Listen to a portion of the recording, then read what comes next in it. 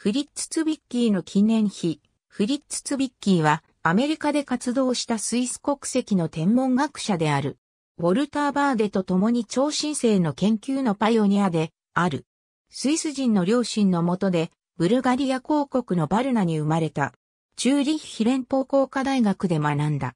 1925年にアメリカのカリフォルニア工科大学に移り、その後、スイス国籍のままアメリカで活動した。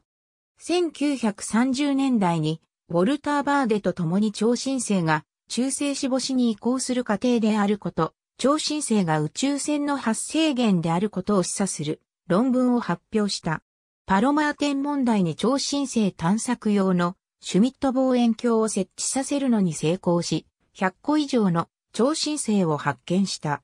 1961年から銀河のカタログカタログオブギャラクシーズオブクラスターズオブギャラクシーズを作成した。1972年、イギリス王立天文学会ゴールドメダルを受賞。変わり者で知られ、周囲の研究者にバリ増減を浴びせるのが常で、お気に入りの馬頭語は、休憩のろくでなしだったという。小惑星、スビッキー及び月のクレータに名を残している。